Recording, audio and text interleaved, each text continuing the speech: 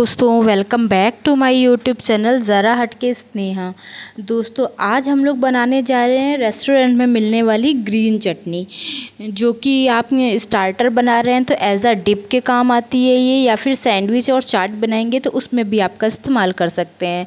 इसका जो रंग होगा, वो बहुत ही अच्छा सा ग्रीन आएगा, बिल्कुल ग्रीन नहीं आएगा लाइट्स ग्रीन सा, बहुत ही दिखने में अच्छा लगता है। तो देखते हैं दोस्तों, इसे कैसे बनाते हैं और इसे बनाने के लिए हमें क्या क्या चाहिए। यहाँ पर हमने एक जार लिया हुआ है। जार में हमने थोड़े से मिंट लीव्स डालेंगे। मिंट लीव्स का मैंने यहाँ पे स्टेम हटा दिया है। केवल लीव्स ही ली हुई है। तो आप भी स्टेम हटा दीजिएगा, केवल लीव्स लीजिएगा। और जितने अमाउंट में हम मिंट लीव्स लेंगे, उतने ही अमाउंट में हम कोरिएंडर लीव्स भी लेंगे। इसका स्टेम सहित इसको लेना है स्टेम नहीं हटाएँगे। और ये डंठल सहित हम इसमें डाल देंगे। इसके बाद हम यहाँ पर जो रोस्टेड चना होते हैं, भुने हुए चना ऐड करेंगे। करीब एक चम्मच यहाँ पर भुना हुआ चना ऐड किया है। और अब यहाँ पे चार लहसुन की कलियाँ ऐड करेंगे।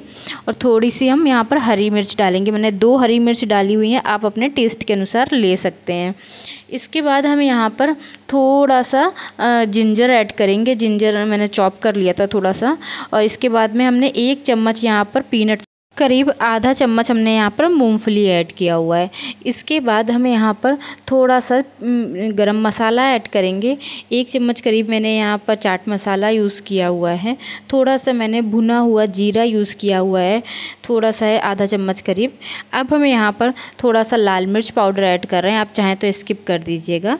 और थोड़ा सा हम यहाँ पर नमक ऐड कर रहे हैं टेस्ट के अनुसार में। अब थोड़ा सा ब्लैक सॉल्ट ऐड करेंगे, इससे टेस्ट अच्छा आ जाता है। और खट्टापन देने के लिए हमने यहाँ पर नींबू का रस यूज़ किया हुआ है। आप चाहें तो स्किप कर सकते हैं क्योंकि दही सफिशियंट खट्टा कर देता है। यहाँ पर मैंने दही लिया हुआ है जिससे पानी मैंने हटा दिया तो जब भी आप दही का यूज़ करें तो एक बात याद रखें, दही को छन्नी से छान लें, पंद्रह से बीस मिनट पहले छान के रख लें, ताकि जो एक्सेस वाटर है वो निकल जाएगा और थिक पोर्सन आपको मिल जाएगा दही का। अब इसको हम एक ग्राइंडर में अच्छे से पीस लेते हैं।